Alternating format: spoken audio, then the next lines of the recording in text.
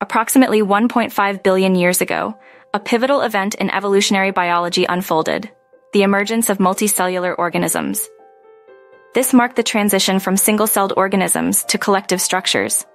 Initially, these multicellular entities were simple, but they laid the groundwork for future complexity.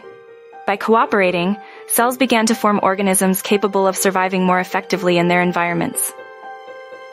The emergence of multicellularity allowed for the development of specialized cell types. This specialization meant that certain cells could focus on specific tasks, such as digesting nutrients or providing structural support. As a result, organisms could develop more intricate structures and grow to larger sizes. This specialization was crucial for the evolution of complex life forms, paving the way for diverse plant and animal species. With multicellularity came an explosion in the diversity of life, organisms could now adapt more effectively to their environments and explore new ecological niches. This adaptability was a driving force behind the evolution of complex species. The ability to specialize and cooperate enabled multicellular organisms to thrive in various habitats, leading to the rich tapestry of life we see today. The evolution of multicellular organisms began with single-celled entities forming collective structures.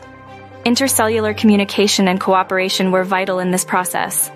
By developing a collective lifestyle, these organisms became more resilient to environmental challenges. Over time, they evolved into structures where cells coordinated specific tasks, allowing for more complex organism-level functions. The emergence of multicellular organisms had a profound impact on the evolution of life on Earth.